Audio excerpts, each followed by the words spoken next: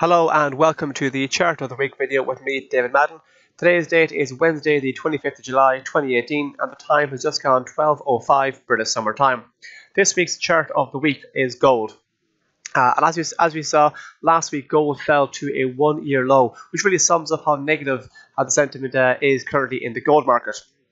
If you take a look at the price action since April, we can see that the gold market has been a classic example of a downward trend uh, since then. Uh, and a downward trend is defined as a series of lower lows and lower highs. So taking a look at the price action from mid-April, we can see the market moved lower here, creating the first lower low, pushed higher here, lower high, lower low, lower high, lower low, lower high, lower low. Last week's uh, one-year low, and then uh, it's managed to push on higher here again.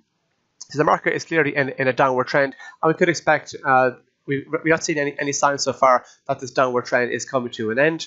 Um, it's also worth pointing out historically gold has acted as a safe haven for safe haven asset.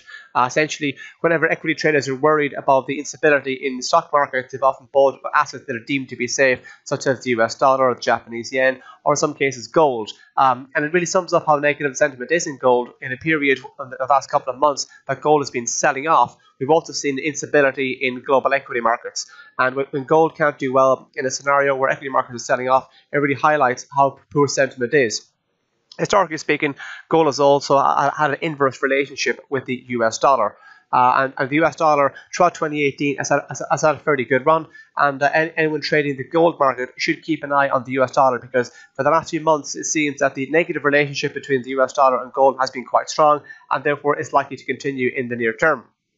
As I mentioned, gold fell, gold fell to a one-year low last last week, uh, and if this negative trend were to continue, we could look at good looking at, at, uh, testing last July's low of 1204. Uh, should we go south of 1204, the big psychologically important 12, 1200 number will then come into play. And if we go south of that, we could be looking heading back down towards the low from January 2007, which is in the 1280 region. So these are the targets to keep an eye out for to the downside uh, should the negative move in gold continue. Uh, any bounce back uh, in, in, the price of gold may run into resistance at this area here, 1236 or perhaps even we could have uh, resistance come into play in around the 1250 area here. A lot of consolidation in the 1250 area, and if we go north of 1250, we could be looking at heading back up towards this area here, 1266.